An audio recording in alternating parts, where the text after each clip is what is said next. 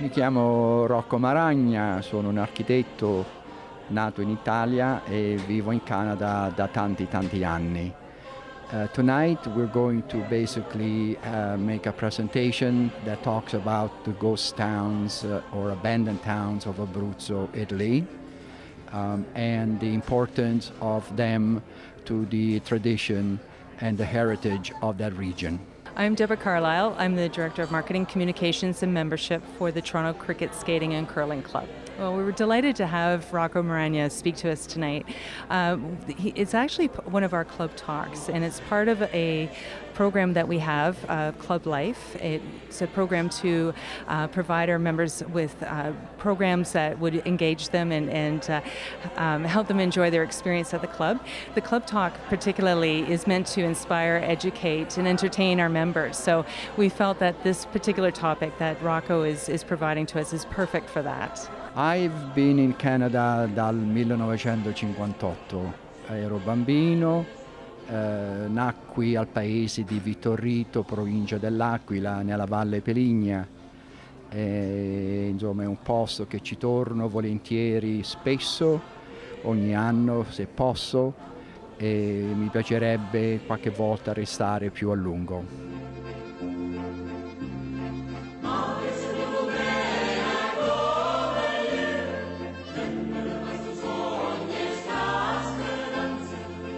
I am an architect, and as such, I look at the settlements, urban places, the meaning of uh, uh, history and the meaning of heritage. And when I saw these abandoned towns as I returned to the country or the region that I was born in, uh, there was a melancholy elegance about them that is so different than the modern city that we are building today. And although there is no one living there, but I felt there's life, there are possibilities. So I became interested in them to trying to explore, to understand them, to learn from them, and if anything, what I learned to use it in my architecture that I do in other parts of the world.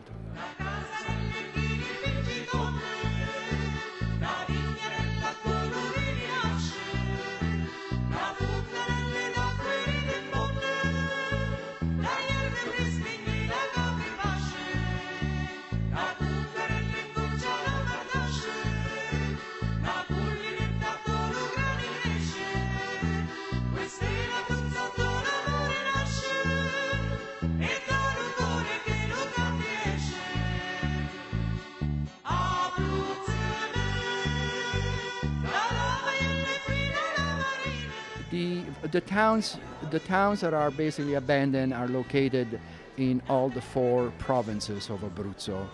They were abandoned because of natural disasters like the earthquake, abandoned because of immigration, people just leaving to get away from uh, uh, the lack of work, the lack of uh, activity, to look for fortune. And they were also abandoned because of progress very little progress in Abruzzo over the post-war Second World War. So a lot of people moved into the cities, uh, Roma, Milano, Brescia, and other parts of the world. And these towns have names like uh, Buonanotte, Montebello, Corvara, uh, Frattura Vecchia. These, these names, for me, they evoke uh, incredible moments that needs exploring because the imagination sets in.